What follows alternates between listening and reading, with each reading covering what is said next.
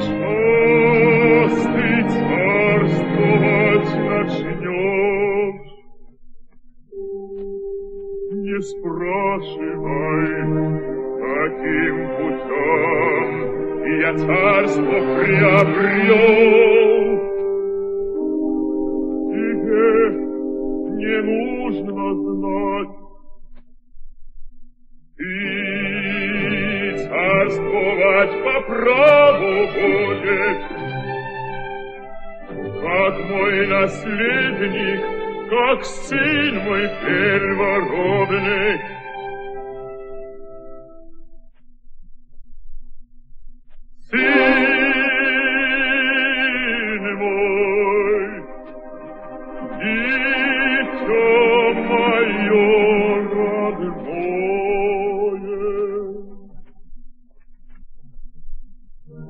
Теряйся на витом бояр крамольный.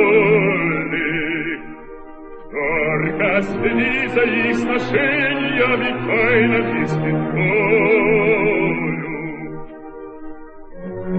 Измену карай без пощады, без милости карай.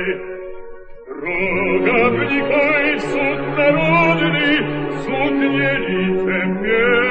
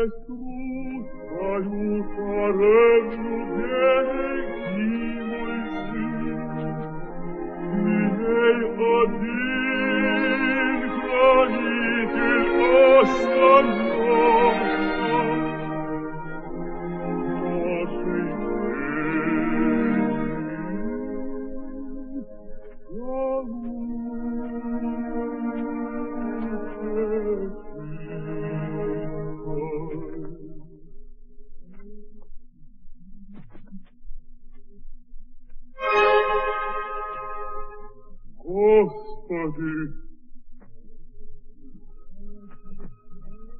Господи! Озри, моло, нас слози грешного Отца, не за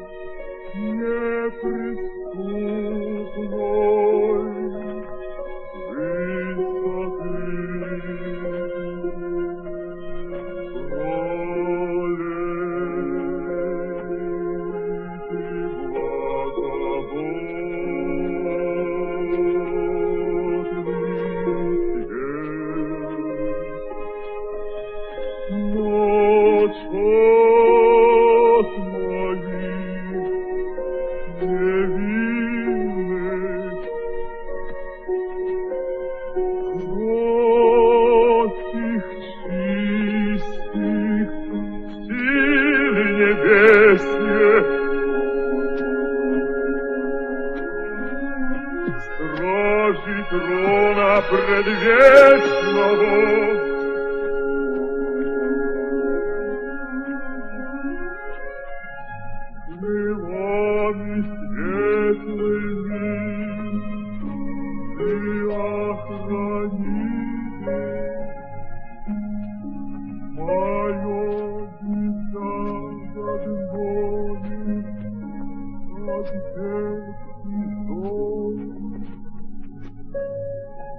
Ati